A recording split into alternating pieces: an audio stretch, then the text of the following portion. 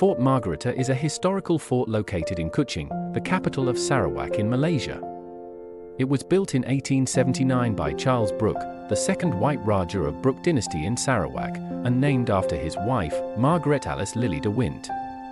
The fort was constructed to guard Kuching against pirates and served as a defensive structure to protect the city and its inhabitants. Fort is built in the style of an English castle, featuring a watchtower and a crenellated parapet. Its design reflects the colonial architecture of the time.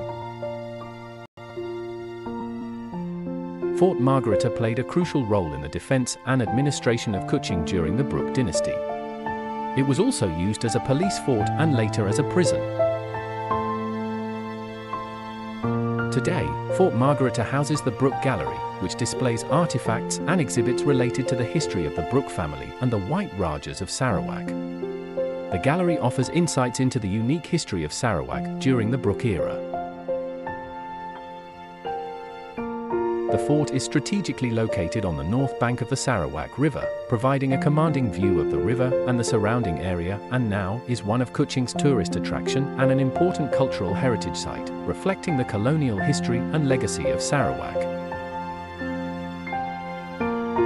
The Brooke dynasty, also known as the White Rajas of Sarawak, was a British family that ruled the Kingdom of Sarawak on the island of Borneo from 1841 to 1946 in three generations. The dynasty was founded by James Brooke, who established the Brooke Raja as an independent state under his personal rule. James Brooke was born in 1803 in India and was a former soldier of the British East India Company. In 1839, Brooke sailed to Borneo and assisted the Sultan of Brunei in suppressing a local rebellion. As a reward, the Sultan granted him the title of Raja and control over Sarawak in 1841. James Brooke started to rule Sarawak from 1841 to 1868 where he introduced reforms, established a rudimentary legal system, and worked to suppress piracy and headhunting in the region. The Brooke's reign was humane enough to impress one British reformer to write that the Raja was a great, a wise, and a good ruler with highest talents for government, particularly his careful diplomacy with clashing tribal chiefs. As a young man in the Bengal Army in 1825, waging war to expand the empire against Burma, his dreams of military glory ended abruptly when he was shot in the most intimate part of the male anatomy that discouraged Brooke from marrying. In view that James Brooke never married as he was unable to father any offspring due to accident in Burma. As a result, when it came time to designate a successor, he chose his nephew, Charles Brooke, to inherit the title and designated as the second White Raja of Sarawak. Charles Brooke, the second son of James Brooke's sister, Emma Frances succeeded him and continued the Brooke dynasty as the second White Raja of Sarawak. The succession of Charles Brooke as the second White Raja of Sarawak was not entirely smooth and involved some controversy, often referred to as the succession crisis. By the late 1850s, James Brooke's health was deteriorating due to a series of strokes. James initially considered his nephew, John Brooke Johnson, the first son of his sister Emma Frances as his heir. However, the relationship between James and John became strained. James Brooke and John had significant disagreements over the administration and direction of Sarawak. These conflicts led to James dismissing John as his heir in 1863. With John out of favor, James turned to another nephew, Charles Johnson, the younger brother of John. Charles had already been involved in Sarawak's administration and had shown competence and loyalty to James.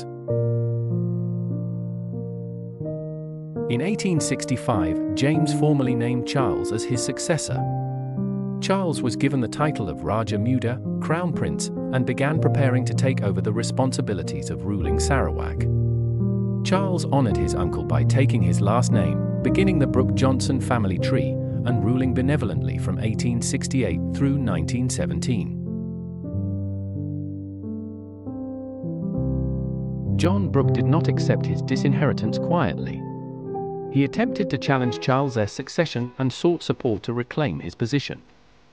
John engaged in legal and political efforts in Britain to contest his removal as heir. Despite all these efforts, he was ultimately unsuccessful.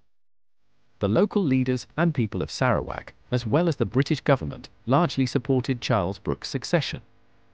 His established presence and experience in Sarawak helped solidify his position.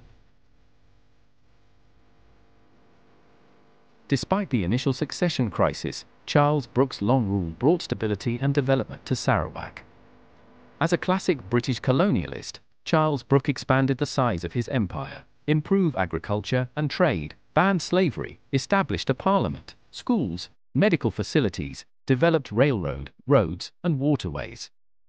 He encouraged his British officers to take native women as lovers in the hope that they would teach them the native language. He also showed interest in preserving the culture and traditions of the indigenous people, often adopting a paternalistic approach to governance and worked towards the welfare of the local population. Charles Brooke married Margaret Alice Lily de Windt on October 28, 1869. Margaret Alice Lily de Windt was the daughter of Thomas de Windt, a former officer in the British Army.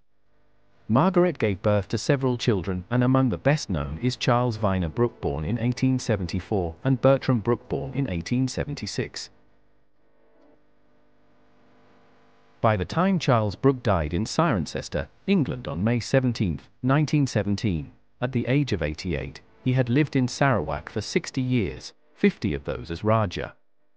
Reflecting his strong preference that Bertram should inherit the Raja rather than his older brother Vyner. Bertram declined his father's offer but agreed to share power with his elder brother by which the two brothers were to take alternate control of the government for six months of the year. Charles Vyner Brooke was duly installed as the third Raja with Bertram Brooke assuming control of the government of Sarawak for half the year. The challenges facing Vyner were very different to those of the two previous Rajas. By 1917 the country was at peace and the economy and provision of education, health and other services dominated. Prices for rubber and pepper had plummeted with the Depression and the independence of outstation officers had to be reconciled with a need for centralization. Bertram gradually handed over Sarawak affairs to his son, Anthony, in the late 1930s, whilst retaining his official status under Raja Charles Will as Tuan Muda, heir presumptive. In 1939, Anthony Brooke was appointed as Raja Muda due to no apparent male heir from Vyner Brooke.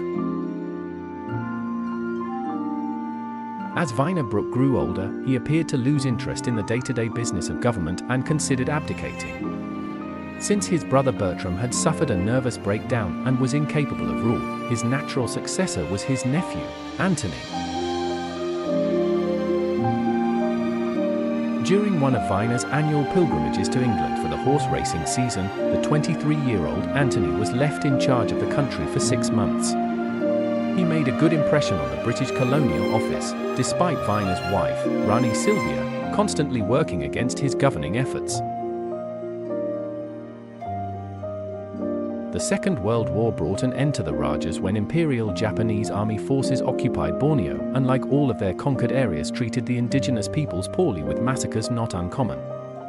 A thousand Malay and Iban tribesmen from the Kapit Division were trained by 11 US Army Air Corps aviators and a few dozen Australian special operatives in guerrilla warfare. This army of tribesmen have killed or captured over 1,500 Imperial Japanese Army soldiers and had smoked a large collection of Imperial Japanese Army soldiers' heads and hung on their traditional longhouse. Those tribesmen has a well-crafted modus operandi by sending their prettiest daughters down to bathe in Jungle River as catching bait and when the Japanese troops crept up to get closer to the bathing beauties, the tribesmen would simply chopped off their heads as they approached. After the war ended, Vyner Brooke returned to Sarawak but faced difficulties in restoring the pre-war conditions and managing the changing political landscape. In October 1945, the third Raja Vyner Brooke bowed to British government pressure and ceded his rights over Sarawak to the British Crown in return for a substantial financial settlement for him and his family. This became Britain's last colonial acquisition. Sarawak became a British Crown colony on the 2nd of July, 1946 ending the Raja's rule in 1946. the cession faced opposition from some members of the Brooke family and sections of the local population. Vyner's nephew, Anthony Brooke, opposed the cession and campaigned for Sarawak's independence or return to Brooke rule, but these efforts were ultimately unsuccessful.